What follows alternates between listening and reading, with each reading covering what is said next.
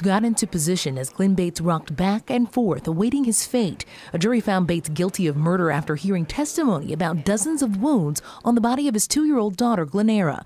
She had been starved and weighed only 13 pounds when she died. The defense asked for life without parole for the sake of his other children, making note of the testimony from one of the mothers. It appears that she said shed were not for herself uh, and not for Mr. Bates, uh, but indeed uh, they shed for their 12-year-old son that they had together. The prosecution agreed with the jury. The fact that it took them, I think, less than an hour to come up with their decision shows just how clear this decision is. We would simply ask you to follow the jury's recommendation. Judge Megan Shanahan followed the jury's recommendation and sentenced Bates to death. Obviously, we're disappointed.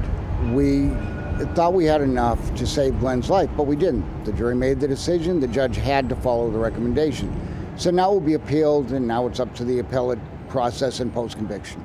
The sentence comes after Bates was originally offered a plea deal. We had told our client it probably would have been 23 to life, which obviously, in retrospect, would have been better than getting the death penalty.